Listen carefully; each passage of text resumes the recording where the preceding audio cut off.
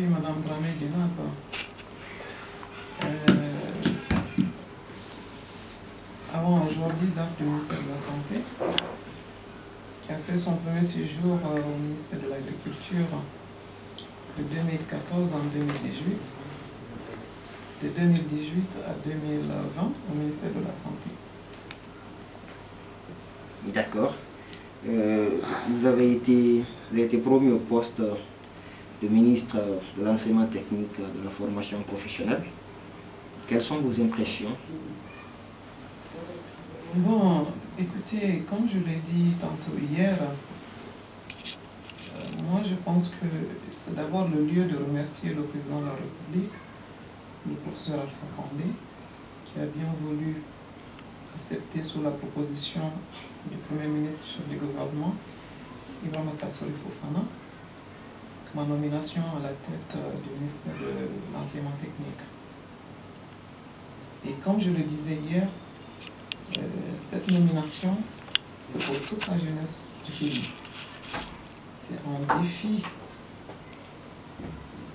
qui est lancé à cette jeunesse.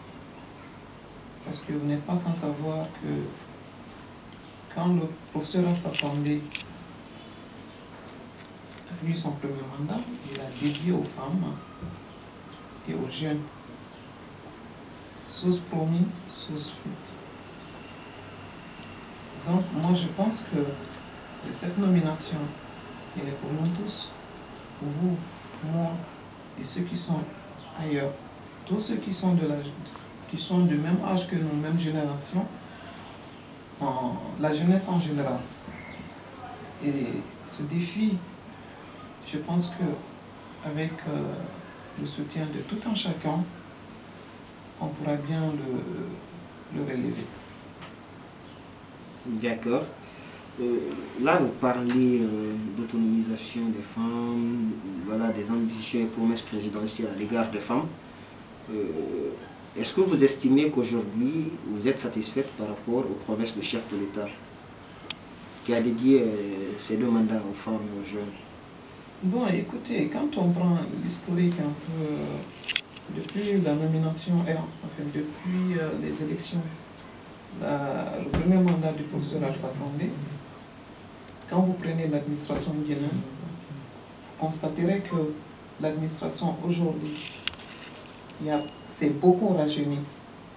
Avant, personne n'osait parler. D'abord, le poste de DAF, ce n'était pas d'abord les jeunes.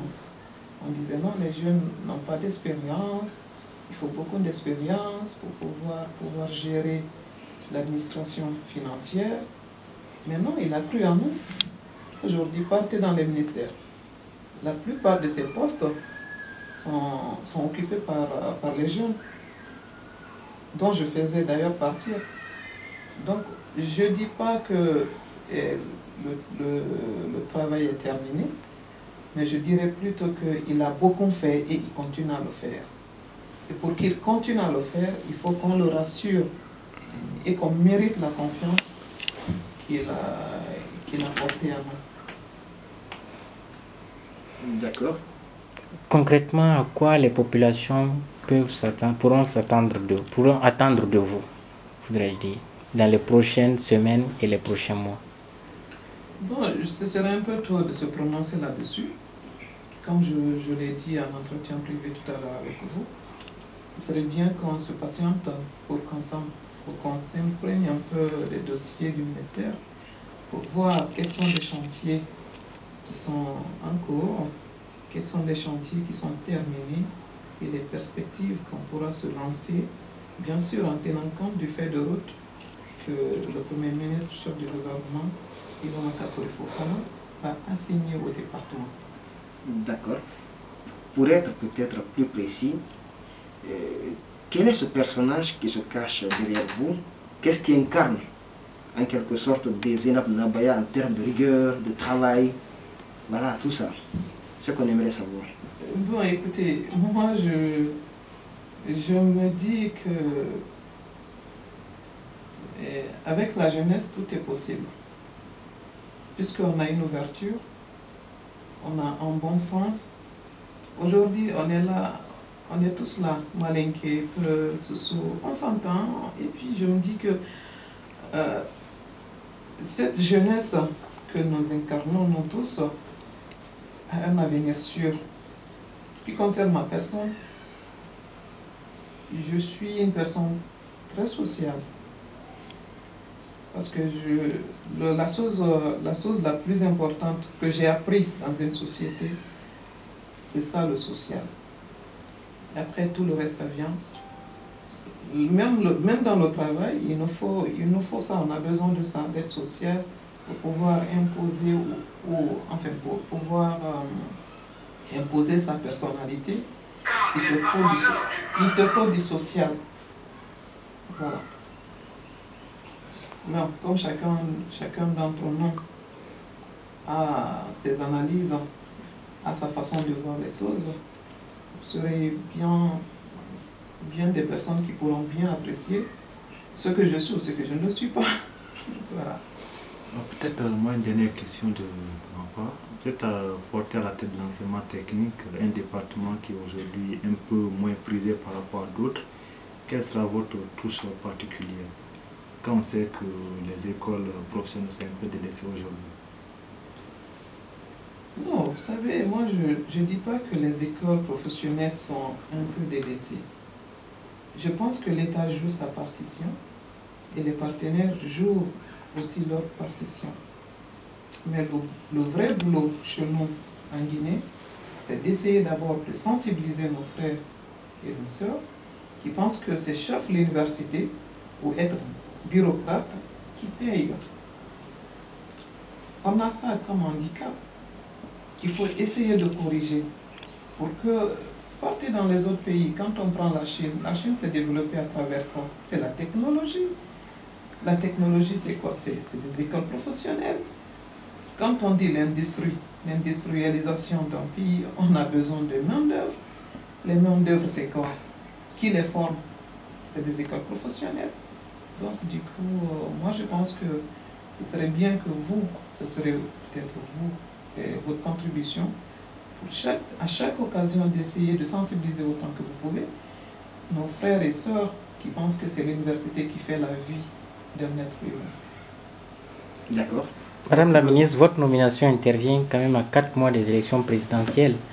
Pensez-vous pouvoir élever, euh, honorer la confiance placée à vous par le chef de l'État en si peu de temps?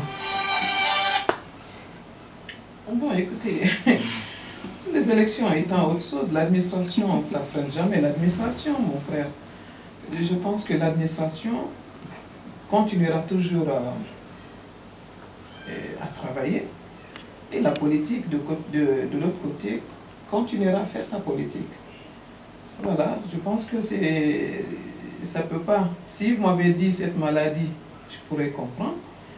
Mais je pense que la politique, ce n'est pas un handicap pour bloquer un pays ou pour faire quoi que ce soit, ou pour arrêter une administration, à mon, à mon avis. D'accord?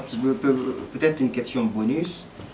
Euh, pour beaucoup, Dan Djenab, qui est sortante, bon, qui a clôturé peut-être ses, ses, études en 2010, se retrouve, voilà, dix ans après à la tête d'un département, j'estime que c'est un miracle.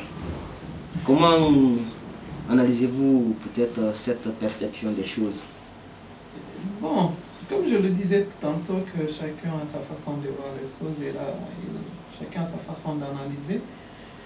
Moi, je ne dis pas que c'est un miracle.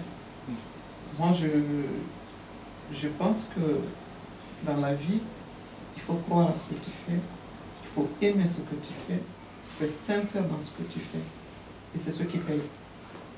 Une raison de plus, le président de la République et son premier ministre a cru en nous. Et pourquoi pas nous, les jeunes? Si on n'est pas capable de, de croire en nous-mêmes, vous voulez que quelqu'un d'autre le fasse à notre place Non. Pour moi, 10 ans déjà, ça fait beaucoup d'années. Quand on enlève 10 ans dans la vie d'un être humain, ce n'est pas 10 jours. Et quand on fait 10 ans d'expérience accumulée, je pense que ce n'est pas 10 jours, ça.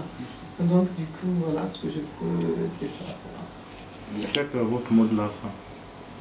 Bon, mot de la fin, je remercie euh, le professeur Alpha Condé et le Premier ministre et l'ensemble de la jeunesse guinéenne et je les invite au sérieux, au travail et croire au destin de ce pays pour dire que la Guinée appartient à la jeunesse parce qu'on a la chance d'avoir un pourcentage très élevé en, jeunesse. Donc je pense que ça c'est du potentiel qu'il faut exploiter. Donc euh, ce, voilà. Merci. C'est moi qui vous remercie.